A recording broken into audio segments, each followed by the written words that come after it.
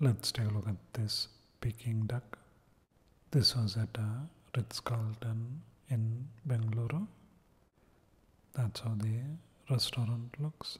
Love those beautiful vases too. Love how colorful it is. Started with some nice green tea. Not a fan of the silverware though. The tea was quite soothing. Then we had these.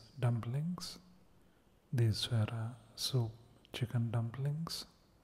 Soup inside was so flavorful and uh, such an yummy bite. Now we move on to the Peking duck. This is half portion by the way, and you also get these sides some green onion, cucumber, and a wrap. So let's make it. Let me take a big piece of duck, some green onion and cucumber, nice amount of sauce. Whole meal costs around 2500 or uh, $35 or so. So let's taste it. The Peking duck was on my bucket list for a really long time.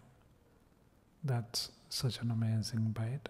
Duck is a little bit on the drier side. Crunchy vegetables and a sweet sauce make it so yummy. It was fun to finally try it. Quite nice. Check it out.